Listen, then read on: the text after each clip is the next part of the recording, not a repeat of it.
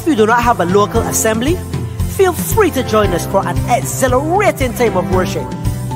Our services are Sunday morning at 10 a.m. Sunday evening, healing and deliverance at 6.30 p.m. Join us in prayer on Tuesdays at 7 p.m.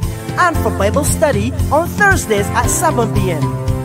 Let's fellowship and enjoy the simplicity of the.